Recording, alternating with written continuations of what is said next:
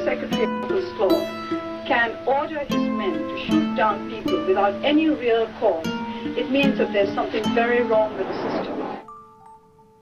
Aung San Suu Kyi will be gone, and she'll be on a t-shirt. The marketing's good. Monks are dying, soldier children crying. Playing bubbles with four-year-old girls.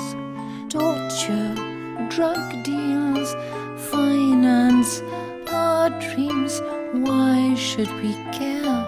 The stock market's good. Petrol's booming, generals wooing,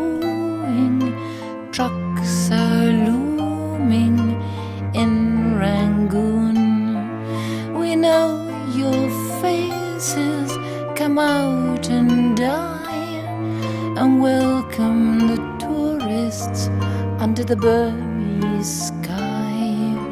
But tomorrow, Christine and me'll feel just the same with our China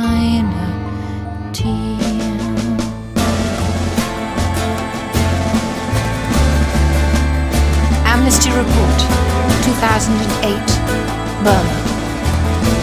The 8th of the 8th, 88.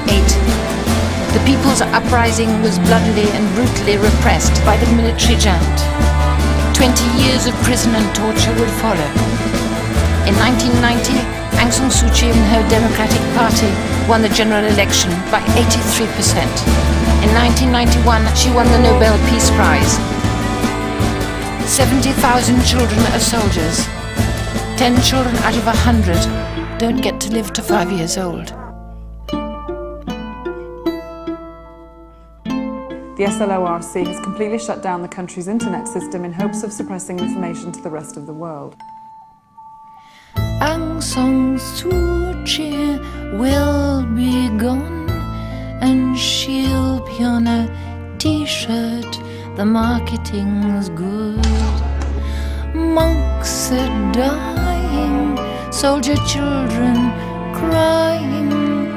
We're playing bubbles with four-year-old girls, but tomorrow, Christine and me feel just the same. Maybe shed a tear in our china tea.